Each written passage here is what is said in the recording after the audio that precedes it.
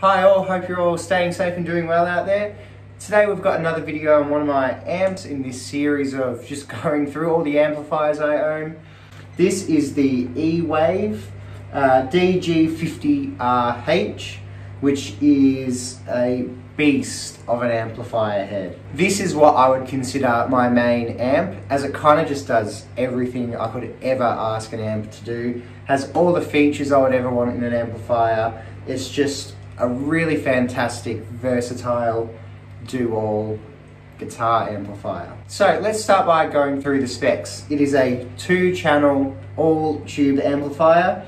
We have four 12 AX7s in the preamp and two 6L6 tubes in the power amp, so going for more of a American vibe. There is a independent EQ, independent three band EQ for each channel, so we have a volume and reverb for the master, so that affects both channels. The clean channel has a bass, middle, treble, a bright switch and a level and the dirty channel has a level, bass, middle, treble and gain. There's also a low and high input. It is 50 watts with a real spring reverb uh, at the back. It's got a line out on the back. It has a effects loop at the back. You can uh, run an 8-ohm cab. I think you can run two 8-ohm cabs at the same time as well as well as a 16 ohm cab. So if you haven't heard of the brand E-Wave before, I don't blame you, but they are a Chinese amp manufacturer. They're actually a OEM manufacturer uh, that put their own brand E-Wave on some of their amps. Um, but they were rebranded as Pirana amps. So you can go watch my other video on a Pirana combo amp. I'll leave a link to that one in the in the description below. And you can go and uh, get a potted history of the E-Wave brand and how they're linked to the Pirana brand of amplifiers. So you will see this E-Wave guitar amp rebranded with the Pirana logo instead of the E-Wave logo. You can see it's going for the Hughes and Kettner thing of having the blue kind of lit up plexiglass.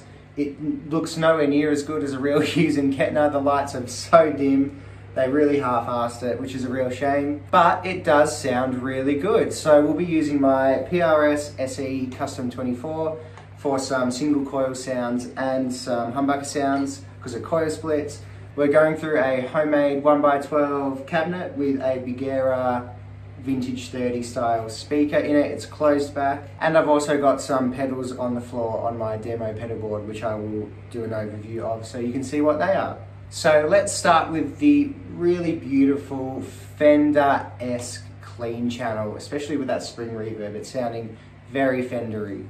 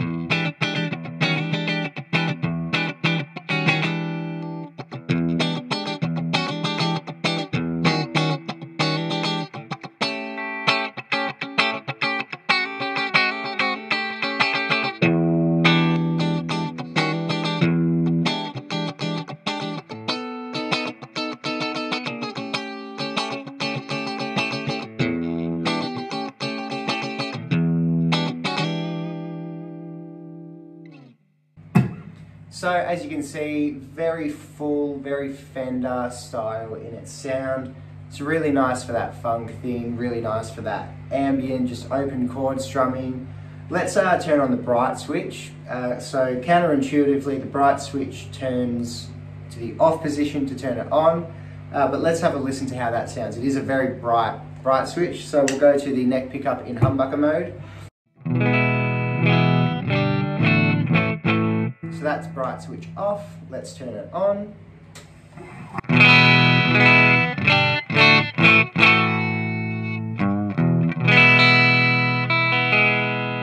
So it's almost sounding like a, a pretty full sounding bridge pickup with the bright switch on.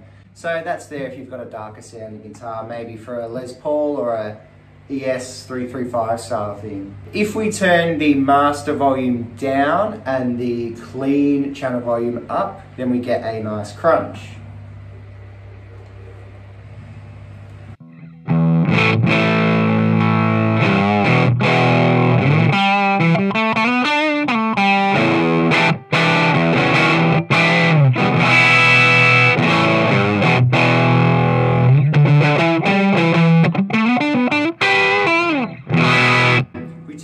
Tube screamer.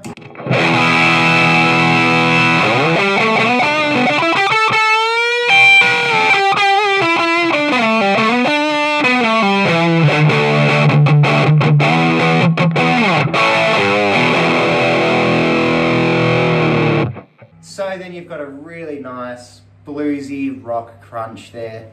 Uh, so you've got that super crystal clean channel. And you can crank that up into some bluesy rock territory if you want. Sounds really nice, really natural sounding overdrive, especially boosted with a tube screamer type pedal. If we go back to crystal clean, we can have a listen to how it takes pedals just as a perfectly clean amp. So here's without. If we put on the uh, black box overdrive.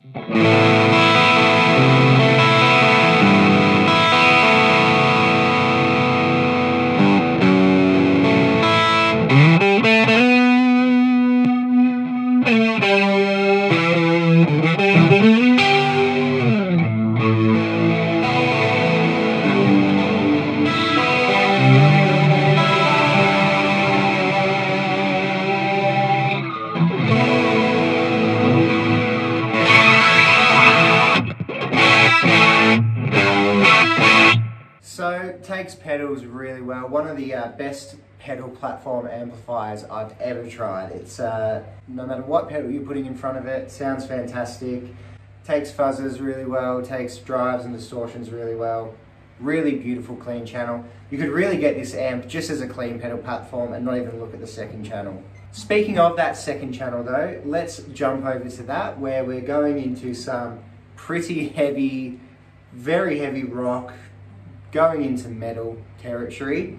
Uh, reminds me a little bit of the classic, like late 90s, early 2000s uh, new metal Mesa Boogie single rectifier sound. So let's hear that now.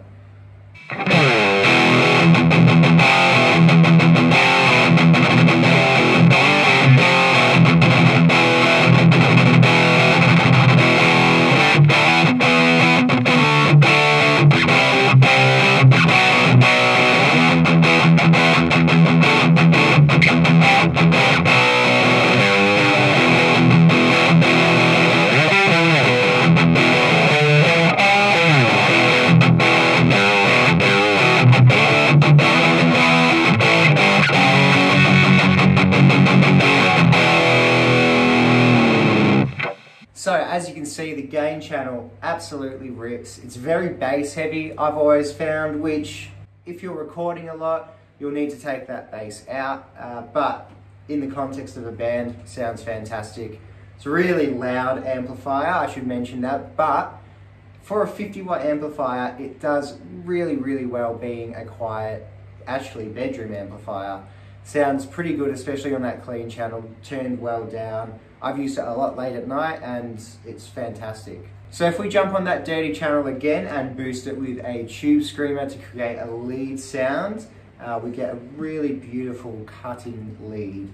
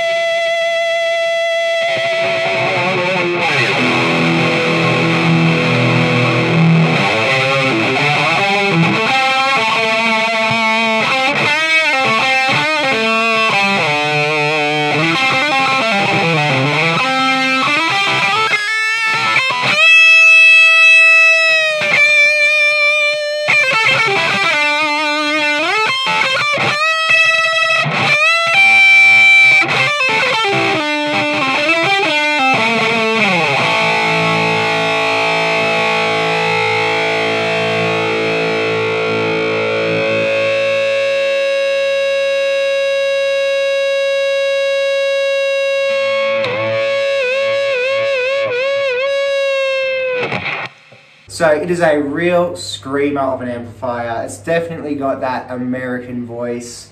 Uh, it's a beautiful amp because it's got like the uh, blackface style clean voice on the clean channel.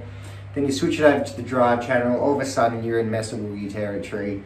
It's a really affordable amp as well if you find one used on the used market. Uh, they retail for not a lot for the features that you get. I think I've seen a few of them go for five or six hundred dollars. I mean, that's a lot of amp for the money. There's not a lot wrong with it, really. The only complaint I've ever had with it is when I got it, the tubes needed to be replaced pretty quickly, but to be fair, I did get it uh, used, although it hadn't been used much by the original owner. And it is very big and bulky. It's not actually super heavy, uh, but it's pretty big for a 50 watt amplifier head. I mean, it looks rock and roll on stage. But if you don't have a lot of space in your studio, it's uh, taking up a lot of excess room that it probably doesn't need to take up. So there is my review slash demo, well demo with my opinions I guess, on the E-Wave DG50RH. I always forget the name, it's not a very catchy name. I really hope you enjoyed this one guys. I really hope why you can see this is my main amplifier. Although I should disclaimer that, that I did just get another amp in recently, which I'm really liking as well. It's a lot more simple than this. Uh, it doesn't quite sound as good as this, but I'm liking it just for the portability of this other amp. Uh, but you'll see that in another video. It's a Vox amp, I'll give you that clue. Anyway, I hope you enjoyed this one guys, and I'll see you in the next video.